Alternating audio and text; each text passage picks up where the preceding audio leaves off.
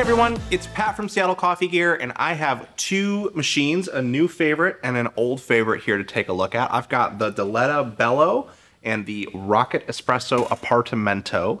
Um, we're gonna do a crew comparison between these two machines. Uh, it's a fun one because they look pretty similar when you see them on a counter, but actually when you get into it, they have a lot of little differences that you might find will make you more interested in one over the other. So it should be a good one. Um, let's get started talking a little bit about the features of these machines. So these are both going to be heat exchanger machines, which means that they're going to perform quite similarly. Um, that means that they have a boiler with uh, a heat exchanger tube inside of it, and as water moves through the exchanger tube, it heats up, and um, and you can basically do steaming and brewing at the same time, to put it simply. Um, that also means that uh, you're not going to have to do as much pausing between steaming and then letting the boiler boiler come back to a certain temp to do your brewing. You can just do them both at once, which is really nice. These are both also E61 group head machines, which means that they have heated groups that also heat the portafilter. So this is a really nice feature that improves the temperature consistency from the boiler through the group, through the portafilter, through the coffee itself, the most important part, and then into your cup. So you're gonna get that with both of these, uh, which is really nice. And like I said, you're gonna get some pretty similar tasting shots between the two of them, but they do have some key differences that are going to sort of help you make a decision as to which one you like more. First of all, there's the visual part. Um, and also the size component comparison. This one is, the Bello is a little bit bigger than the Appartamento, so it's kind of hard to tell on camera, but there's a slightly smaller footprint on the Appartamento, which may be important to you depending on your counter space. Um, the Appartamento also has the cutout side panels, so it's got those cool circles in it, and you can get those panels in different colors. The Bello is a little simpler when it comes to its visual design. It has pretty similar knobs in the front. It's got your level, lever right here, your steam and hot water wands. It doesn't have too much um, in terms of differences in visuals uh, from other E61 machines, but it does have a really nice finish, and you can get it with uh, in a couple of different colors with powder coating finish, which is also really nice. Now, when it comes to the usability of these machines, you're gonna find that the Bello has a slightly bigger water tank, which is kind of nice. So you have uh, fewer refills. You can do more steaming and, and pulling shots before you need to refill the water reservoir.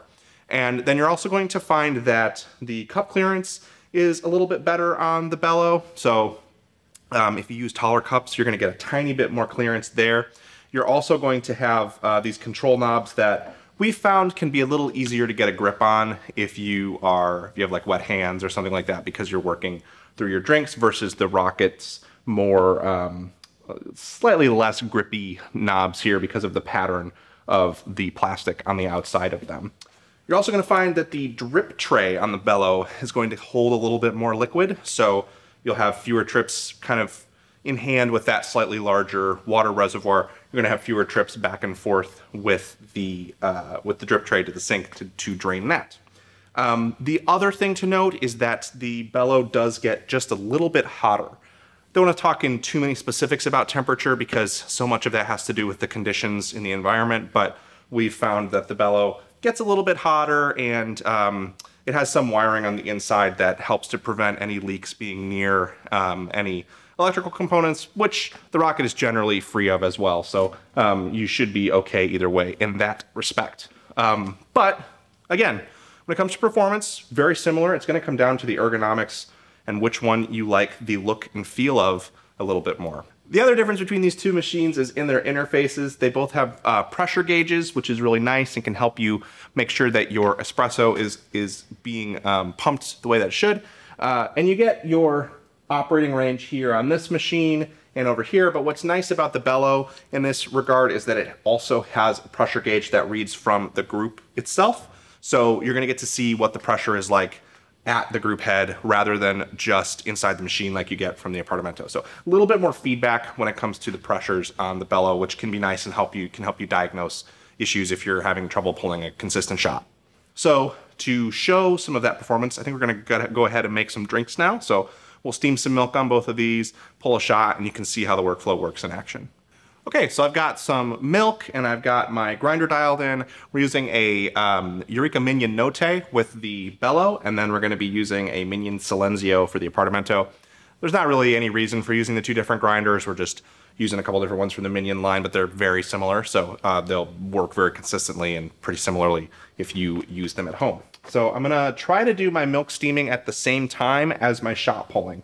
See how good I am at that, because I'm not always the best at managing both of those at once. Tare out my scale here.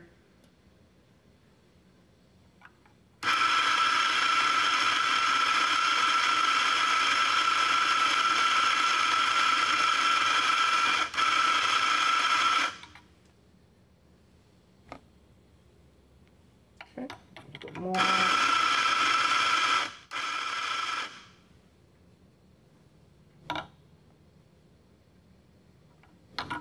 Going for going for about 17 grams here.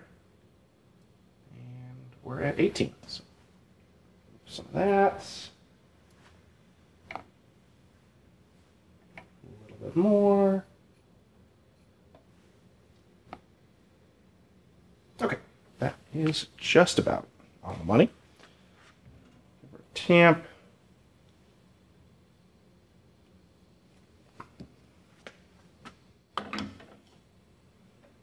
And I'm going to use the scale to time and weigh my shots as we go. These two machines don't have built-in shot timers, um, which means that it's good to have a timer handy or uh, a scale like the Acaia Lunar that can help do that for you.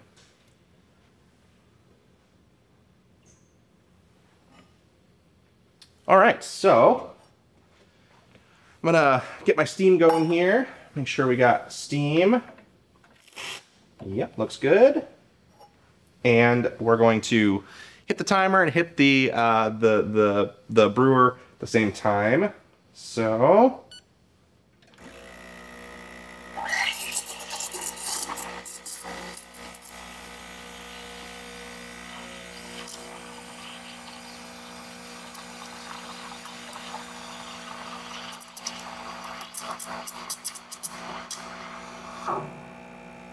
Got my milk.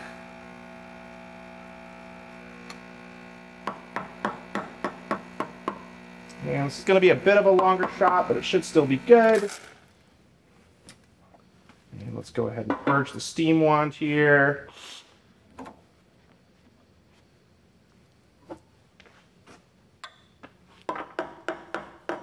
And I'm going to go ahead and pour my shot first.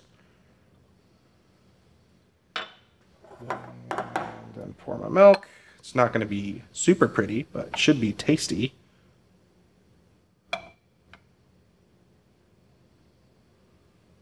Okay. Yeah, that's looking pretty good. And it turned out really great as well. So super fast to make that drink. Um, the whole process was like maybe a minute and a half. So um, really awesome to work with both of these machines because they can give you that like real sort of prosumer feel. You can get your drinks made pretty quick uh, and they come out really delicious. So let's go ahead and reset and then we will make a similar drink on the Appartamento. Okay, so uh, let's go ahead and get our drink made on the Appartamento.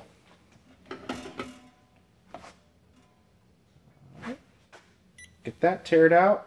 Um, another minor difference with these two machines is that the uh, portafilters are actually a little deeper or taller on the Appartamento, so you can get a slightly, um, it's a little easier to work with when you're filling the coffee.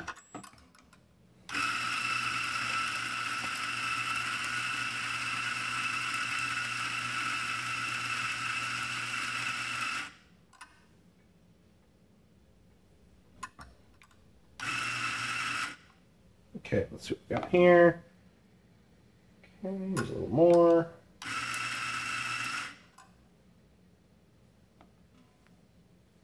A little bit too much. Okay, just about perfect. Get this one tamped.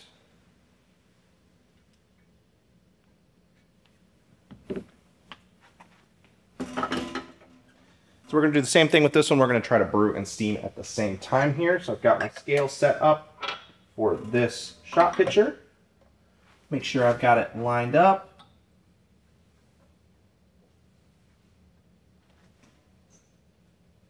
All right. So I'm gonna do my, hit my scale, uh, hit the lever and start the brew. Let me make sure I've got steam. Yep, sure do. All right.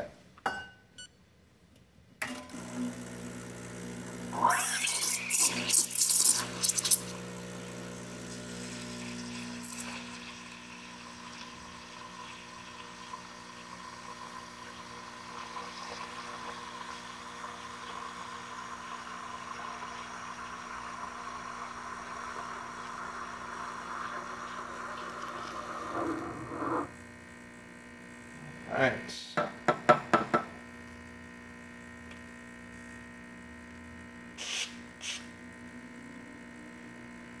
Okay. And once again, we got a bit of a long shot, but that is going to be just fine in our drink. Stop the timer.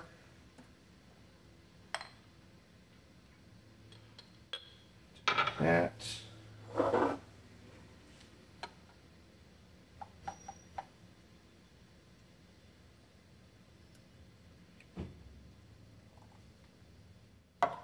Hey, and there's a heart or a, a uh, blob.